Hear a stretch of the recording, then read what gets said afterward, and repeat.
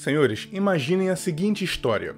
Você é um jovem de 19 e 20 anos. Tem alguma projeção. Cresceu dentro do mundo dos streamings de jogos. A sua fama é baseada nisso, ganhou milhões de seguidores e em um evento ou outro você acaba conhecendo uma menina, que entre uma conversa e outra acabam trocando números, se conhecendo mais e decidindo que irão se relacionar sendo que você acabou descobrindo ao longo dessa conversa que ela já estava com outro relacionamento enquanto trocava a ideia com você, sendo muito provável que ela havia trocado seu antigo relacionamento para estar com você. E a suspeita também de que ela tenha traído um antigo namorado contigo. Mas esse é o seu primeiro relacionamento. Então, você é um pouco inexperiente, meio boca aberta e não tão interessado assim, acaba seguindo adiante.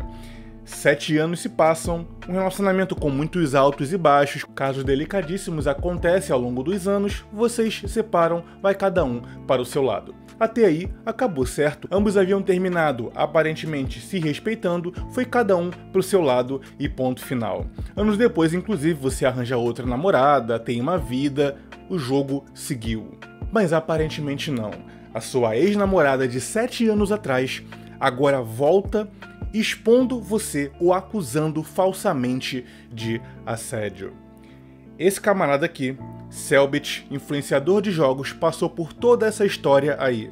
E ele deu uma aula de como um homem deve se esquivar de falsas acusações. Pois é, outra bolha, outro nicho, outro meio, mas o mesmo problema. Mulheres com psicológico abalado e que fez uma espécie de cancelamento retroativo e pensou bem, analisou a situação. É, eu acho que aquele relacionamento de 7 anos atrás, é, eu acho que ele foi abusivo sim. E deu um exposed. Você, famoso, você com projeção, acabou sendo alvo disso aí. O que, que você faz? Vamos aprender aqui com o camarada Selbit, inclusive aí um abraço pro trabalho dele, e aqui eu vou mostrar os erros e os acertos desse caso que eu tenho certeza que irá pelo menos virar uma chave na cabeça dos senhores de como lidar com esse tipo de cancelamento. E se você pensa que foi brincadeira, o camarada possui os relatos, prints, conversas e provas suficientes para lotar um PDF de 19 páginas que foi ao ar assim que ela, a querida, o acusou falsamente. Nesse PDF tem detalhes da vida amorosa deles, prints, imagens, enfim, tudo com setas, com uma certa precaução jurídica ali, mas apenas colocando a versão dele. E cara, que trabalho ele teve. Mas vamos lá, eu já disse aqui que a ideologia feminista tornou as mulheres desconfiadas dos homens e o Estado tornou os homens desconfiados das mulheres. Então, cada um agora acaba tendo que fazer um exercício de autodefesa da sua própria imagem depois que termina um relacionamento. E esse tipo de caso aqui é o exemplo perfeito disso. Qual foi o acerto do Selbit? Bem, no PDF, ele coloca detalhes bem íntimos, inclusive da vida dele. Um dos acertos dele, inclusive, é isso. Na hora de demonstrar a sua versão, para enfrentar esse inimigo que se tornou a ex dele, ele teve que humanizar a sua figura dentro do relacionamento.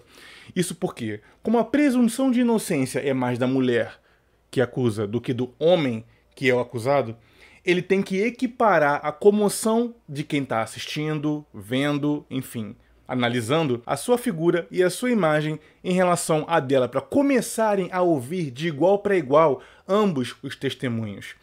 Ela, uma menina muito bonita, estilo princesinha, enfim, né, estilo padrão de beleza. Então é muito fácil as pessoas, depois que ela acusa alguém, comover-se e pegar o lado dela. Então nessa história ele comentou inclusive detalhes sobre a sua sexualidade, que ele se entende como assexuado, que ele não tem interesse nesse nível sexual como ela teria no relacionamento, e que dentro do relacionamento, para ele ter essa baixa libido sexual, ela acabava forçando algumas situações para ter relações com ele, enquanto ele estava usando essa mesma vontade em outras coisas da vida dele. Isso por si só já humaniza pra caraca a versão dele e tira essa peste de que acho que todo homem é um potencial assediador. Não, ele coloca a versão dele, um problema que ele passou, algo sério inclusive, bem delicado, e acaba trazendo uma certa comoção ao público e, portanto, fazendo com que agora ambos de igual para igual sejam ouvidos. Segundo acerto de Selbit foi justamente coletar e guardar prints, imagens, provas, tudo para dentro dessa versão colocar em formato PDF nas redes sociais. Muitos dizem, inclusive, que não foi ele que publicou, mas sim alguém que o conhecia, enfim, que montou essa versão. Mas todas essas provas, esses relatos por escrito, acabam tirando de você essa espontaneidade que é você comentar algo no calor do momento em forma de vídeo.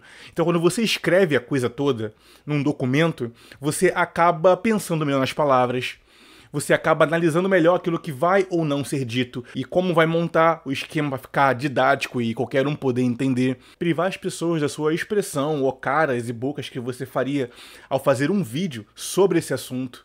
Então, no documento está tudo mais pensado, revisado e estruturado. E a terceira lição primorosa do Selbit foi: publicado o PDF, a partir de então eu vou levar você à justiça essa falsa acusação não ficará apenas no tribunal da internet. Então, olha o que ele fez: mudou, através da sua versão mais humanizada, a opinião pública da possibilidade dele ser, de fato, um criminoso, teve o cuidado de, ao longo do tempo com ela, juntar prints e provas de que a versão dele de que ela era uma pessoa complicada, que haviam altos e baixos, etc., está documentada e publicada, e a partir de agora vai para o jurídico. Então, em três passos, ele virou o jogo da opinião pública, e no terceiro, agora tudo de forma sigilosa, ele irá seguir em frente e não deixar impune uma mulher que falsamente o acusa. E esse tipo de caso é importante porque quando pessoas de fora da bolha ou do nicho que falam sobre masculinidade, a dificuldade das leis e falsas acusações, quando vem alguém como ele, com diversos seguidores em diversas plataformas, acaba então espalhando ainda mais essa mensagem e essa tática de que mulheres também podem ser canalhas. É só isso. Não são todas, não é a maioria, mas também podem ser. Tirar essa presunção de inocência acaba facilitando o jogo na hora de um próximo caso midiático explodir. Há lá uma segunda Nájila lá tentando acusar um bom homem de alguma coisa. Há lá uma segunda mina do Selbit lá que tentou acusar ele de uma relação de sete anos atrás. Estourar a bolha das falsas acusações é importantíssimo e acaba fazendo inclusive com que os verdadeiros casos de assédio sejam julgados e criminalizados. Então, não só o assédio deve ser punido, mas também a falsa acusação. Então, parabéns ao Selbit por essa iniciativa de não deixar barato. Se acusar falsamente, vai se ver com a justiça. Não é um revanchezinho de internet, Twitter e coisas assim também estão sobre o olho da lei e deve ser punido sim. Não basta apenas acusar alguém falsamente e depois culpar o emocional que estava transtornada ou dar uma desculpa e deixar a coisa para debaixo do tapete. As suas ações terão consequências de quanto mais homens tiverem a coragem de denunciar, não achar que vai ser visto ou mal visto pela lei ou pela polícia, porque a sua mulher de alguma forma te agrediu ou algo assim, mais casos como esse vão aparecer. E até algumas estatísticas criminais e policiais podem acabar mudando. E aqueles que achavam que, ué, era apenas uma meia dúzia de mulheres em 2015, por exemplo, que eram denunciadas por agressão, ah, agora parece estar aumentando. O que aconteceu? Ué, porque antes os homens não enxergavam algumas coisas como agressão, mas que sempre foram agressão. Tapa a panela voando, ameaça, enfim. Ah, ciúminho fofo, ela quer te proteger, ela te ama. Não, não é bem assim não.